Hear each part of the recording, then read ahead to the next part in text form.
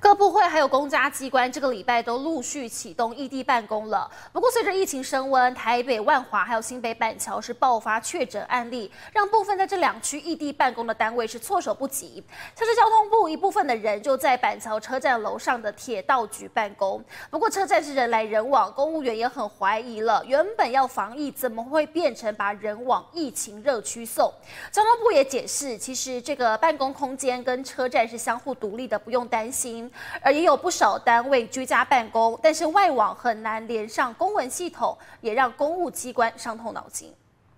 交通部原本规划异地办公地点，其中一个就在爱国东路上面的中华邮政大楼，现在中华邮政爆出有确诊个案，也因此里面的公务人员必须再到备用地点。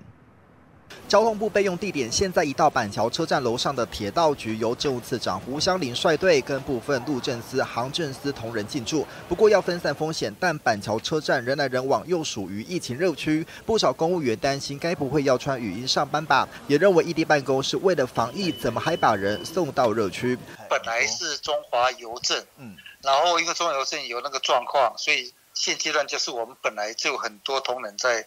板桥那个地方上班嘛，那地方刚好也有空间，所以就先部分的同仁到那边去异地上班嘛。嗯哦，而且因为其他的备案可能我想都还在进行当中。交通部说，铁道局虽然坐落板桥车站共构大楼之内，但办公空间跟车站相互独立，进出落实十连制量体温，防疫措施都完备，不用担心。而不少部会除了异地办公，一部分的人也实施居家办公，但有公务员抱怨，在家的话，公务系统外网难开，内部公文系统得逐一开通权限挂外网，甚至有人还无法连上公文系统。当时就特别提醒我们的资讯中心一定要协助确保治安。